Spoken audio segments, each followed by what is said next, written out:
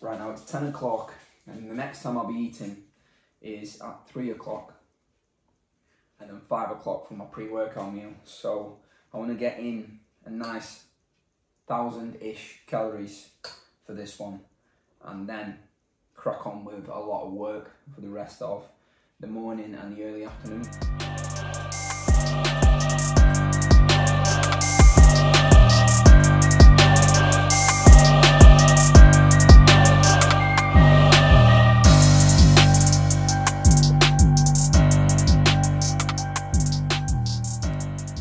So, here's how I keep myself accountable to the things that I say I'm going to do.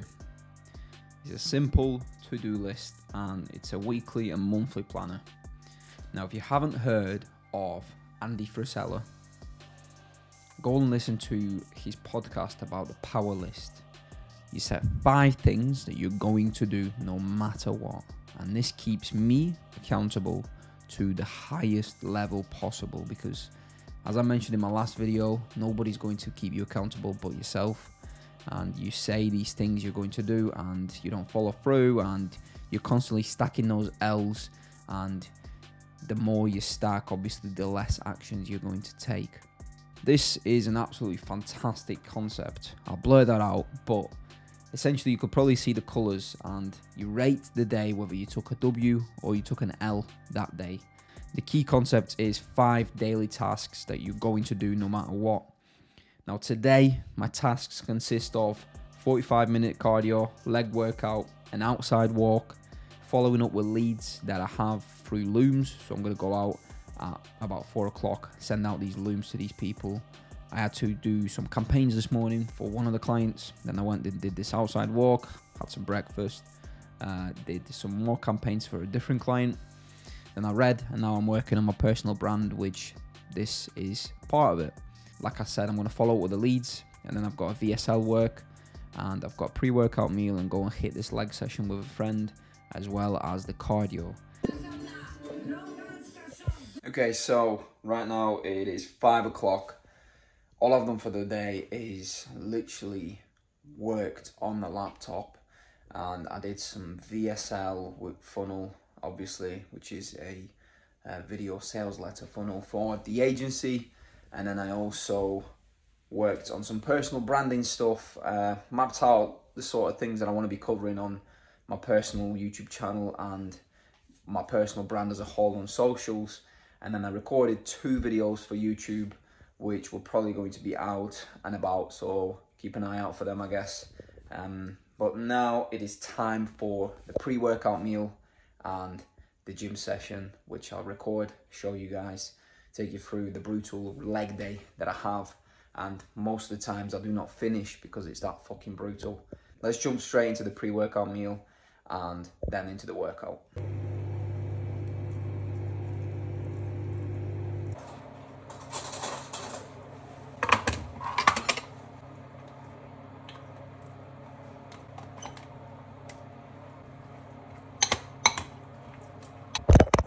This is why I don't vlog. Because look at this shit. I just completely missed the ball. Like, anyway, I've not cleaned this up, but here is the pre-workout. Rice cakes, two rice cakes, uh, honey, some fruit, some frozen fruit that I warmed up in the microwave, and some Greek yogurt. And now I'm also going to have two more of these with some peanut butter and salt.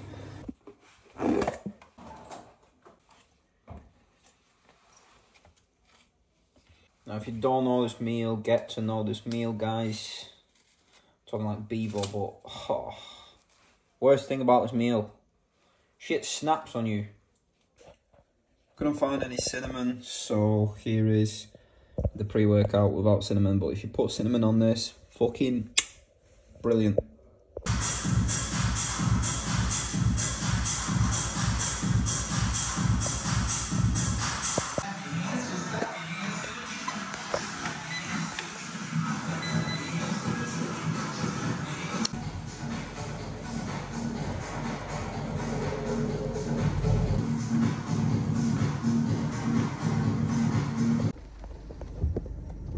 Was an absolutely nightmare of a session. And shut it off very quickly. Hot stopped after literally two exercises. When I did 15 minutes of cardio instead of 30 and came home and I'm very very upset with myself. But it's the reality of losing weight and running a business. Sometimes even the gym doesn't allow you to to escape from all of this and it's uh, it's the difficult thing to weigh up all the time. But on here I'm showing my reality and being honest with everybody so it is what it is. Um, we just crack on with it tomorrow and don't let it get to us that's all